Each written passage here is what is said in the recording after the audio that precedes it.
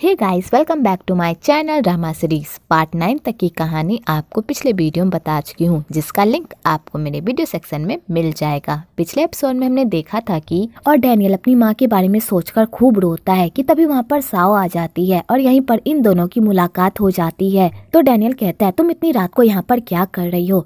तो Sao Daniel को ये नहीं बताती की वो यहाँ पर अपनी वेडिंग रिंग ढूँढने आई है, बल्कि वो ये कहती है की उसका कोई सामान खो गया है, बस वो उसे ही ढूँढने के लिए यहाँ पर आई है। आगे डैनियल भी साव के साथ मिलकर उसके सामान को ढूँढने की कोशिश करता है, पर वो लोग पूरा होटल छान मारते हैं, पर उन्हें कहीं भी वो रिंग नहीं मिलता। तो बेचारी साव थक हार कर बेंच पर बैठ जाती है तो डैनियल भी उसके पास आकर बैठता है। आगे डैनियल बातों ही बातों में बचपन की सारी बातें साव के साथ करता है और उसे याद दिलाने की कोशिश करता है।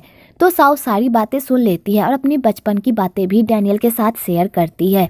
पर वो उस बच्चे का नाम नहीं लेती, जिस बच्चे का नाम डैनियल सुनना चाहता है और बेचारी बात करते करते ही वहाँ पर सो जाती है। तो डैनियल को साव पर बहुत गुस्सा आता है, पर वो साव की मासूमियत देखकर अपना सारा गुस्सा भूल जाता है और उसके पास आता है और अपना कंधा देता है उसे सोने के लिए। इधर वो जहरीली नागिन उन दोनों को एक साथ देख लेती है। तो वो साव की लाइफ में मुश्किलें खड़ी करने के लिए उन दोनों की एक साथ वाली पिक ले लेती है। अगली सुबह जिनसू की जब नींद खुलती है और वो साव को अपने पास नहीं देखता तो वो परेशान हो जाता है और स्वाग को ढूँढने के लिए जाता है कि तभी उसकी मुलाकात वही से हो जाती है। तो वही जिनसू से पूछती है, कल रात तुम दोनों के बीच क्या हुआ? तो जिनसू वही को इतना परेशान होता देख, नहीं देख पाता और कहता है, वही मुझे माफ़ कर दो, पर मैं अब तुम्हारे साथ कोई रिश्ता नहीं रख पाऊँगा, क्योंकि अब मैं साव से प्यार करता हूँ। तो बेचारी वही का ये सब सुनकर तो दिल ही टूट जाता है। क्योंकि उसे अब फाइनली पता चल गया होता है, चाहे वो कितनी भी कोशिश कर ले। अब जिनसू उसके पास दोबारा वापस नहीं आने वाला। तो वही जिनसू को कहती है, मैं कुछ देर अकेले रहना चाहती हूँ प्लीज़ यहाँ से जाओ। तो जिनसू वहाँ से चला जाता है। आगे जिनसू अपनी मोम से पूछता है कि, साव कहाँ पर है? तो समंता कहती है, शायद वो कहीं पर गई होगी, ज़्यादा परेशान मत हो, वो वापस आ जाएगी। कि तभी जिनसू के मोबाइल पर वही मैसेज आता है, जहाँ पर साव और डेनियल एक साथ एक ही बेंच पर सोए हुए होते हैं। तो जिनसू को वो फ़ोटो देखकर तो बहुत ही गुस्सा आता है और वो तैयार होकर होकर सीधा साव से मिलने के लिए होटल जाता है। तो जिनसु जैसे ही होटल पहुँचता है तो वो मैंग से पूछता है कि साव कहाँ पर है? तो मैंग कहती है, मुझे नहीं पता साव कहाँ पर है। कि तभी उधर से कुछ स्टाफ ये बोल रहे होते हैं कि साव पानी में है और किसी ने उसे पानी में ही सोता हुआ छोड़ दिया। तो जिनसू जैसे ये सुनता है तो वो सॉक्ट हो जाता है, क्योंकि साव को तैरना नहीं आता। तो जिनसू सीधा पुल साइड जाता है। इधर साव की जब नींद खुलती है और वो अपने आप को पानी में देखती है तो वो पैनिक करने लगती है। जिस चक्कर में वो पानी के अंदर गिर जाती है तो साव अपने आप को बचाने की बहुत कोशिश करती है, पर वो नहीं बचा पाती। इधर डैनियल साव को पानी में डूबता हुआ देख रहा होता है, क्योंकि डैनियल को लगता है कि साव को तैरना आता है। और डैनियल को लगता है कि अगर वो साव के साथ ये सब करेगा तो साव को बचपन की सारी बातें याद आ जाएगी। लेकिन तभी डैनियल देखता है कि साव अपने आप को नहीं बचा पा रही। तो डैनियल सीधा पानी में कूदता है साव को बचाने के लिए, कि तभी वहाँ पर जिनसू भी आ जाता है साव को बचाने के लिए। लेकिन डैनियल साव को पानी से बाहर निकालता है और उसे सिर्फ़ प्यार देने ही वाला होता है कि तभी वहाँ पर जिनसू आ जाता है और कहता है, मेरी वाइफ से दूर हटो। और जिनसू साव को सिर्फ़ प्यार देता है और उसे उठाने की बहुत कोशिश करता है, और बेचारे जिनसू की मेहनत रंग भी लाती है और साव की जान बच जाती है। तो जिनसू कहता है अगर तुम्हें आज कुछ हो जाता तो मैं कैसे जी पाता? और जिनसू साव को गले लगाकर खूब रोता है, आगे डैनियल साव से माफ़ी माँगता है और कहता है, मुझे माफ़ कर दो, मुझसे ये सब गन जाने में हो गया। तो साव कहती है, कोई बात नहीं, पर जिनसू को पूरा शक होता है कि डैनियल ने ये सब कुछ जानबूझकर किया है, कि तभी वहाँ पर एक सेफ़ आता है और साव से हेल्प माँगता है तो साव उस सेफ़ की हेल्प करने के लिए वहाँ पर चली जाती है। आगे साव के जाने के बाद जिनसू डैनियल के पास जाता है और कहता है, मुझे बताओ, तुमने मेरी वाइफ के साथ ऐसा क्यूँ किया? और तुमने जो साव के सामने जो बहाना बनाया है, वो बहाना तो मुझे बिल्कुल भी मत देना, क्यूँकी तुमने ये सब जानबूझकर किया है। तो डैनियल कहता है, जिनसू, मुझे माफ़ कर दो। मैंने तुम्हारी वाइफ के साथ बहुत बुरा किया, लेकिन मुझे तुम्हारी वाइफ के अंदर अपने पहले प्यार की झलक दिखाई देती है, जिस वजह से मैं अपना गुस्सा नहीं कंट्रोल कर पाता, क्योंकि मेरे पहले प्यार ने मुझे धोखा दिया था।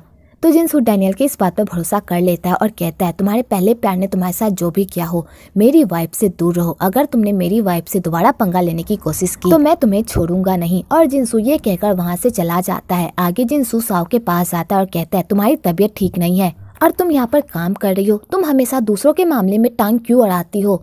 अपने काम से काम क्यों नहीं रखती? और जिनसु इसी बात पर साव पर चिल्लाने लगता है तो साव को भी गुस्सा आ जाता है और कहती है, मुझे दूसरों की हेल्प करने में खुशी मिलती है, इसलिए मैं दूसरों की हेल्प करती हूँ। और इसी बात को लेकर दोनों मियाँ बीबी में लड़ाई हो जाती है और जिनसु गुस्सा होकर वहाँ से चला जाता है।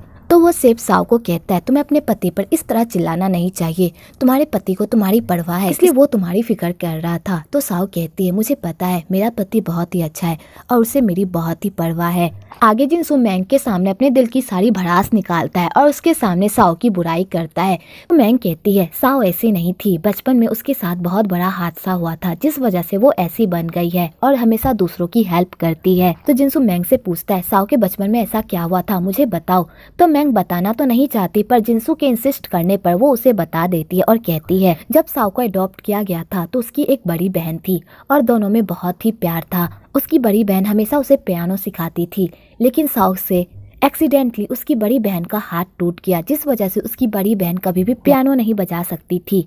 साव को इस बात का बहुत बड़ा सदमा लगा था और वो खुद को इस हादसे का जिम्मेदार मानती थी। तो उसके जो माँ पापा थे, उसने इस वजह से उसे घर से बाहर निकाल दिया और उसे कहीं और भेज दिया। और बेचारी साव आज तक इसी गिल्ट में जी रही है कि उसने अपनी बहन से माफ़ी नहीं मांगी और उसकी बहन ने भी आज तक उसे माफ़ नहीं किया, जिस वजह से बिना किसी गलती के भी अपनी गलती मान लेती है। जहाँ पर उसकी गलती ना भी होती है, वहाँ पर भी वो अपनी गलती मान लेती है, क्योंकि वो अपनी बहन के साथ हुए हादसे की वजह से अपने आप को कभी भी माफ़ नहीं कर पा रही। जब तक उसकी बड़ी बहन उसे माफ़ नहीं कर देती, तब तक उसके दिल से ये बोझ नहीं उतरने वाला। तो जिनसू साव के दिल से इस बोझ को उतारने का मन बना लेता है और वो की बहन को ढूँढने की हर मुमकिन कोशिश करता है। तो उसे पता चलता है कि उसकी बहन की एक बेटी है जो पियानो सीखती है। तो वो उसी स्कूल में जाता है, जहाँ पर उसकी मुलाकात उसी छोटी सी बच्ची से होती है जो साओ की बहन की बेटी होती है। तो जिनसू से बहुत ही अच्छे से बात करता है कि तभी उसे अस्थमा अटैक आ जाता है। तो जिनसू उसकी हेल्प करता है और उसकी जान बचाता है कि तभी वहाँ पर लिली आ जाती है और कहती है, तुम मेरी बेटी के साथ क्या कर रहे हो? मेरी बेटी से दूर रहो। तो जिनसू कहता है, मैं कोई ऐसा वैसा इंसान नहीं हूँ। मैं तुमसे ही मिलने आया हूँ। मुझे तुमसे कुछ बात करनी है। तो लिली अपनी बेटी को कार में बैठने को कहती है। आगे जिनसू लिली से रिक्वेस्ट करता है कि वो एक बार साव से मिले, उससे बात करे, क्योंकि जब तक वो उसे माफ़ नहीं करेगी, तब तक साव अपनी लाइफ में आगे नहीं बढ़ पाएगी, और वो इसी तरह अपने प्यारों के साथ गिव अप करती रहेगी। और जिनसू लिली को ये भी बताता है कि उसकी माफ़ी के लिए वो कितने पेन में है और क्या क्या वो सह रही है। तो लिली को ये सब सुनकर भी कोई फ़र्क नहीं पड़ता और वो कहती है, भगवान ने भी उसकी किस्मत क्या खूब लिखी है। उसे तुम जैसा पति दिया जो उसकी केयर करता है और उससे इतना प्यार करता है। लेकिन उसने जो मेरे साथ किया है, मैं उसके लिए उसे कभी भी माफ़ नहीं करूँगी। उसकी वजह से आज तक मैं पियानो नहीं बजा सकती। इसलिए मेरा पीछा करना छोड़ो। चाहे तुम कितनी भी कोशिश कर लो, मैं उसे माफ़ नहीं करूँगी। और लिली अपनी बेटी के साथ वहाँ से चली जाती है। कि तभी जिनसू को याद आता है कि लिली की बेटी का इनहेलर तो उसी के पास रह गया है। तो जिनसू लिली के गाड़ी का पीछा करता है, पर उसकी गाड़ी बीच में ही खराब हो जाती है। कि तभी उधर से एक साइकिल वाला आ रहा होता है। तो जिनसू उसकी साइकिल को बोरो करता है और उस गाड़ी के पीछे जाता है। तो लिली को लगता है कि जिनसू उसके पीछे इसलिए आ रहा है ताकि वो उसे प्रेशराइज करके साउथ से मिलवा सके। इसलिए लिली जिंसू पर ध्यान नहीं देती कि तभी जिंसू का एक्सीडेंट हो जाता है। तो लिली फिर भी कार नहीं रोकती। उसकी बेटी कहती भी है, पर लिली कार नहीं रोकती। और सीधा अपनी बेटी को स्टेडियम लेकर जाती है कि तभी वहाँ पर उसकी बेटी को फिर से अस्थमा अटैक आ जाता है और उसके पास इनहेलर नहीं रहता। तो लिली बहुत ही परेशान हो जाती है अपनी बेटी की ऐसी हालत देख कर तभी वहाँ पर जिंसू आ जाता है। और लिली की बेटी की जान बचा लेता है। तो लिली कहती है, तुम ये देने के लिए इतनी दूर साइकिल से आ रहे थे तो जिंसू कहता है हाँ आगे लिली जिंसू की बात मान जाती है और कहती है, ठीक है, मैं साव से मिलने के लिए तैयार हूँ। तो जिंसू ये सुनकर खुश हो जाता है। इधर जिंसू की मोम साओ को बताती है की आज जिंसू का बर्थडे है, इसलिए मैं उसके लिए बर्थडे केक बनाना चाहती हूँ, जो मैं कभी भी नहीं बना सकी। पास्ट में जब मेरे बेटे का बर्थडे था तो मैंने उससे प्रॉमिस किया था कि मैं उसके लिए केक बनाऊँगी। लेकिन मेरे साथ एक एक्सीडेंट हो गया, जिस वजह से मैं टाइम पर नहीं पहुँच पाई। और मेरे बेटे को लगा कि मैंने उसे इग्नोर किया और मैंने उससे झूठा प्रॉमिस किया। लेकिन ये बात मैं कभी भी अपने बेटे को नहीं बता पाई। लेकिन तुम्हारी वजह से मैं अपने बेटे के करीब आ रही हूँ, इसलिए मैं अपने बेटे को बहुत बड़ा सरप्राइज़ देना चाहती हूँ। आगे सास बहू दोनों मिलकर केक बनाते हैं। कुछ देर बाद जिंसू भी घर आ जाता है तो वो दोनों जिंसू को मिलकर सरप्राइज़ देते हैं। तो जिंसू वो सरप्राइज़ देखकर बहुत खुश होता है। आगे जिंसू की मोम जिंसू को वही गिफ्ट देती है, जो उसने 18 साल पहले जिंसू के लिए खरीदा होता है। तो जिंसू वो गिफ्ट देखकर पूरी तरह इमोशनल हो जाता है और कहता है, आपने ये गिफ्ट मुझे पहले क्यूँ नहीं दिया? तो समंथा कहती है, मैं तुम्हें उस दिन के बारे में बताना चाहती थी कि मेरा उस दिन एक्सीडेंट हो गया था, जिस वजह से मैं तुम्हारे बर्थडे पर टाइम पर नहीं आ पाई।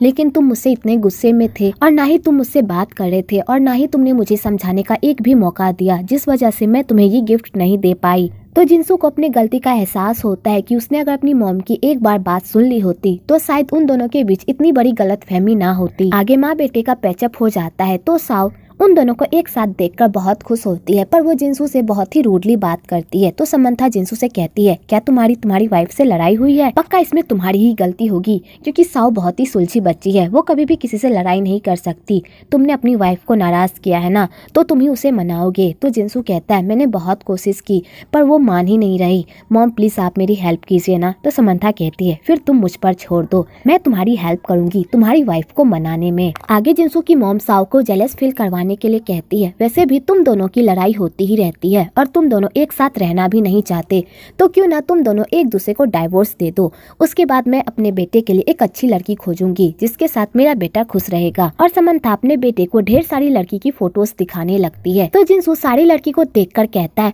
वाह ये कितनी अच्छी लग रही है, ये कितनी सेक्सी है। माँ, इसकी कमर तो देखो कितनी पतली है। ये लड़की तो बिल्कुल मेरे लिए ही बनी है। तो साव को ये सब सुनकर तो बहुत ही गुस्सा आता है और जलन भी होती है। तो साव उन दोनों के बीच में घुस जाती है और कहती है, ये लड़की उतनी भी अच्छी नहीं है। इसकी नाक देखो कैसी है और इसकी होठ देखो वो कितनी मोटी है। ये तो किस करने के भी लायक नहीं है। तुम्हें इस लड़की में क्या पसंद आ गया? तो जिनसू ये सब देखकर बहुत ही खुश होता है की साव को भी इन सबसे फ़र्क पड़ रहा है। तो जिनसू बीच बीच में साव की भी तारीफ़ करने लगता है। तो साव को बहुत ही अच्छा लगता है। आगे समंता अपने बेटे को ढेर सारी लड़कियों की फ़ोटो दिखाती है। तो साओ बीच में घुसकर सारी लड़कियों की सिर्फ़ बुराइयाँ ही निकालती है। तो समंता कहती है, तुम हमारे बीच में क्यों बोल रही हो? तुम्हें तो मेरा बेटा पसंद नहीं है ना? और तुम उसे डाइवोर्स भी देने वाली हो? तो तुम्हें क्या फ़र्क पड़ता है कि मेरा बेटा किसके साथ रहे और किसके साथ नहीं? और वैसे भी तुम्हें तभी नींद आ रही थी। फिर तुम यहाँ पर क्या कर रही हो? तो साव कहती है, मैं जा रही हूँ सोने के लिए। और साव जाने लगती है। तो जिनसू कहता है, मोम, मुझे ये लड़की बहुत पसंद आ गई है। मैं इसी लड़की के साथ ब्लाइंड डेट पर जाऊँगा और मैं इस लड़की के फ़ोटो को तो अपने पास रखूँगा सीने से लगाकर ताकि रात में मुझे इसके सपने आ सके। तो समंता कहती है, तुम्हें जो करना है बेटा तुम करो। अगर तुम्हें ये लड़की पसंद है तो मैं इसी लड़की के साथ तुम्हारी शादी करवाऊँगी। तो साव को ये सुनकर तो मिरी का दौरा ही पड़ जाता है। आगे साव जिनसू के रूम में चोरी छुपे घुस जाती है और उसके पॉकेट से उस फ़ोटो को निकालती है, ताकि वो ये देख सके कि आखिरकार जिनसू ने किस लड़की को पसंद किया है ब्लाइंड डेट पर जाने के लिए। तो वो देखती है कि वहाँ पर कोई लड़की नहीं, बल्कि उसी की भालू वाली पिक है। तो साव ये देख कर बहुत खुश होती है की जिनसू सिर्फ़ उसे पसंद करता है, किसी और लड़की को नहीं, की तभी वहाँ पर जिनसू आ जाता है और कहता है, तुम यहाँ क्या कर रही हो? तुम ये देखने आई थी ना की मैं किस लड़की के साथ ब्लाइंड डेट पर जा रहा हूँ? तो साव इस बात को झुटलाने लगती है। तो जिनसू कहता है, कब तक तुम अपने आप से भागोगी? मान क्यों नहीं लेती कि तुम भी मुझे पसंद करती हो? अर्जिन सुसाओ के साथ फ्लर्ट करने लगता है कि तभी उन दोनों के रोमांस में भंग डालने के लिए कॉकरोच टपक पड़ता है। तो जिनसु कॉकरोच को देखकर पूरी तरह डर जाता है, पर साउ जिनसु को देखकर बहुत हंसती है। वेल, आपको यहाँ पर इन दोनों की खट्टी मीठी नोकझोंक भी देखने को मिलेगी।